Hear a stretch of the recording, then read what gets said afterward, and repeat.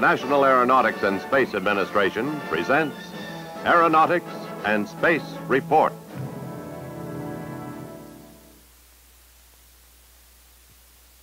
We choose to go to the moon in this decade and do the other things, not because they are easy, but because they are hard. Because that goal will serve to organize and measure the best of our energies and skills.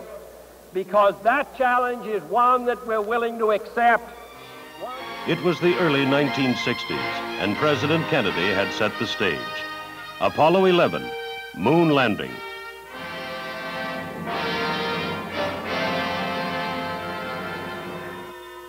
It's called Landing Site 2, a section of moon landscape covering roughly three by six and one half miles. If all goes as planned, the first Americans will land and explore a portion of this area. Astronauts Neil A. Armstrong, Edwin E. Aldrin, and Michael Collins, the three men who will make the next and most historic round trip to the moon. It is Collins who will be in charge of the cone-shaped command module circumnavigating the moon as his two compatriots descend and land on the lunar surface. Born in Rome, Italy, October 31, 1930, Collins served as pilot during the three-day Gemini 10 mission in 1966. Here, he describes the events leading up to his joining NASA. Well, I was a fighter pilot for a number of years at various uh, bases at, in California and overseas in France and in Germany.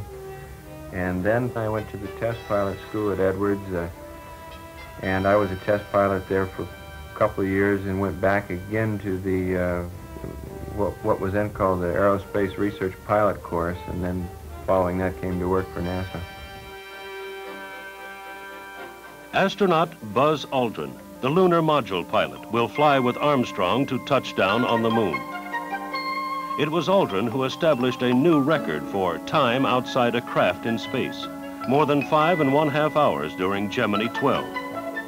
The 39-year-old astronaut has an impressive background, including a doctorate.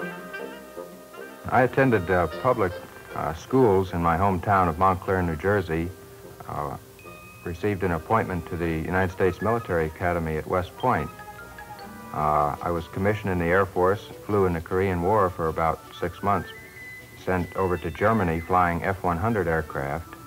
In 1959, applied for admission into uh, Massachusetts Institute of Technology to study uh, astronautics in greater depth, leading toward a Doctor of Science degree.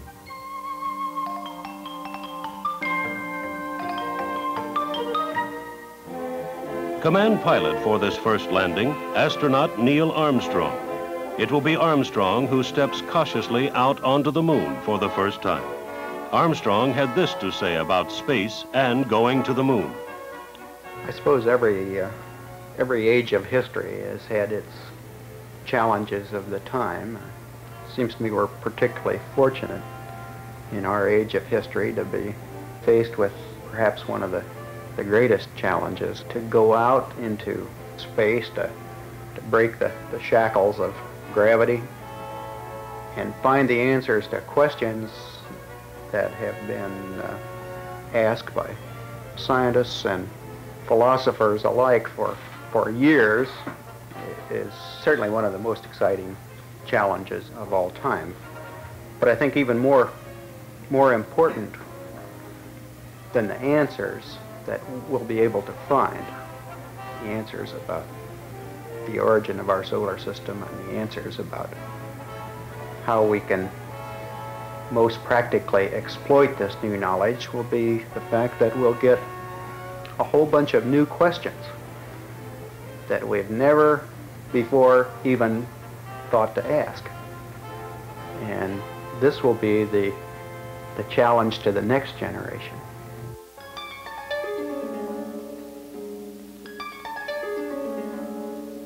Once on the moon, Armstrong and Aldrin will take photographs, dig for lunar soil samples, collect rock specimens, and set up scientific experiments to remain after they have left.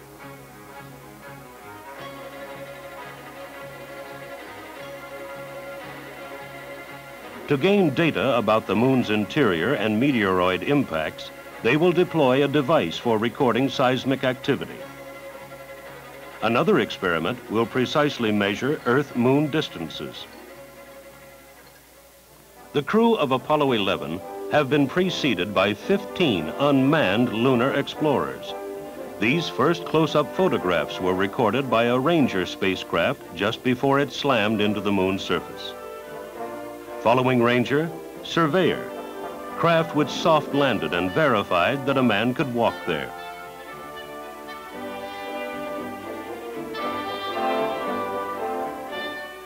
Charting and mapping of mountains, craters, and other surface features was the job of Lunar Orbiter.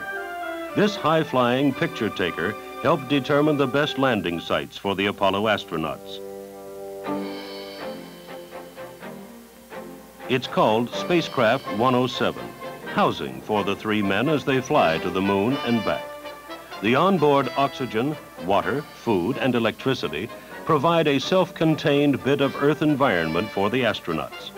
The command module is approximately 12 feet by 12 feet in size and weighs 13,000 pounds with the crew at liftoff.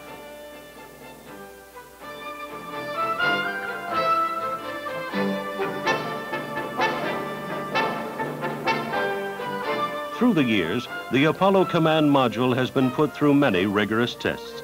Some, like this one, to prove its seaworthiness. Connected to the command module is the 22-foot-long service module, weighing 51,000 pounds. In addition to the rocket engine for returning the men to Earth, it holds oxygen supplies and fuel cells. There was no room for error in the development of the spider-like lunar module, which will actually land on the moon. It must do its job. It must be able to descend to the lunar surface, land, and take off at mission's end. This is the craft assigned to that first moon landing. The lunar module is in two parts. The bottom stage, with its descent engine, will lower astronauts Armstrong and Aldrin gently to the lunar surface on a pillar of rocket exhaust. This stage then acts as a launching platform for the upper section, with its ascent engine lifting the two men back up to join Michael Collins, orbiting in the command ship. The combined spacecraft is shown here during final checkout. The Saturn V rocket, which will boost Apollo 11 off the launch pad and toward the moon, is put together inside the Vehicle Assembly Building at the Kennedy Space Center.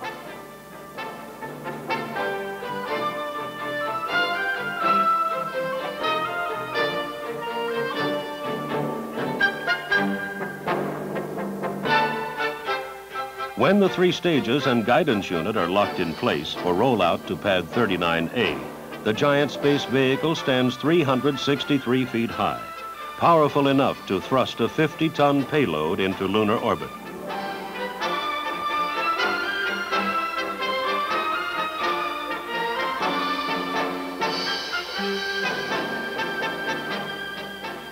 Reflecting on this first moon landing, one of the men most instrumental in the development of the Saturn V, Dr. Wernher von Braun. Well, Apollo 11, our first attempt to land on the lunar surface, is of course uh, the climax of many years of uh, determined efforts.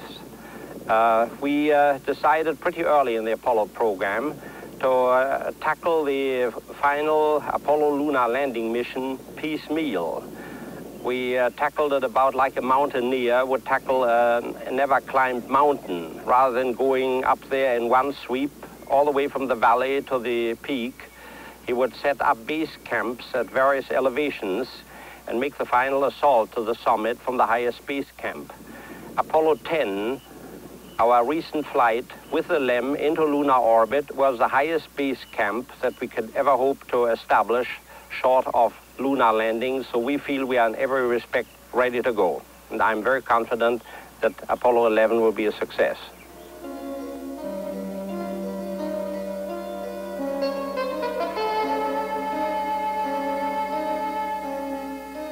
This animation shows the Apollo 11 mission highlights. After computers plot the trajectory necessary to intercept the moon, the third stage engine is restarted and the astronauts begin their three-day journey. the command and service modules separate.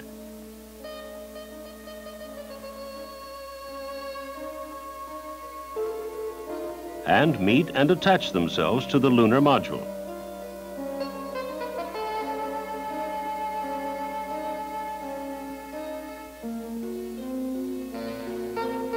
Continuing on, the spacecraft's speed increases as a result of the pulling influence of the moon's gravity.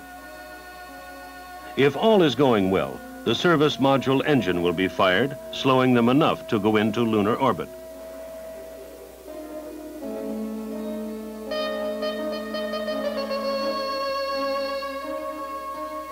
It is at this point that Armstrong and Aldrin crawl through the connecting tunnel into the lunar module. After aligning their guidance and navigation systems, the lunar module's engine is fired as a braking maneuver and to regulate their descent. The command pilot will look for the smoothest area to land on. And finally, touch down. Before doing anything else, the two men will prepare to launch themselves back into lunar orbit. Then astronaut Neil Armstrong will descend the last few feet by ladder to the moon's surface. Approximately 30 minutes later, he will be joined by Aldrin and the two will explore, sample, and set their experiments. About 22 hours after landing, they will launch themselves off the moon.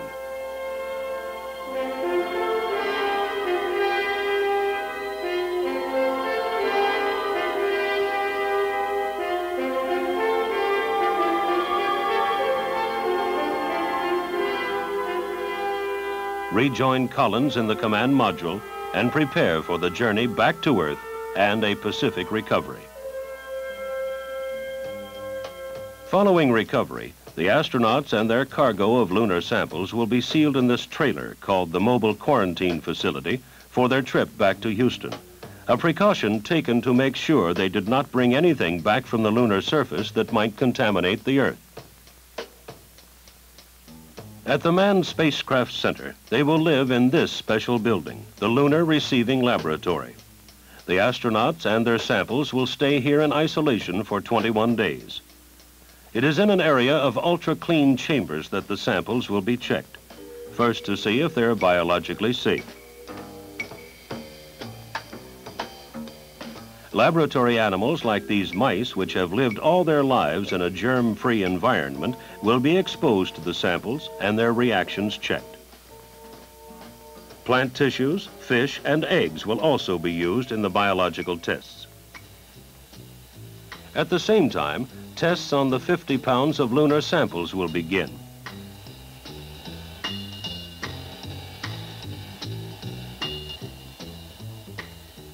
After they are sorted and classified, trained eyes will try to discover some of the moon's many hidden secrets. Later, samples will be sent to waiting scientists all over the world for exhaustive analysis.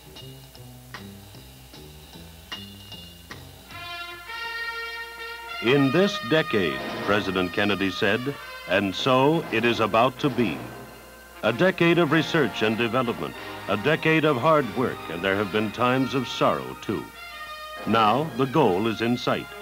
The men and the men behind the men, the rockets and spacecraft are nearly ready for Apollo 11. The first moon landing.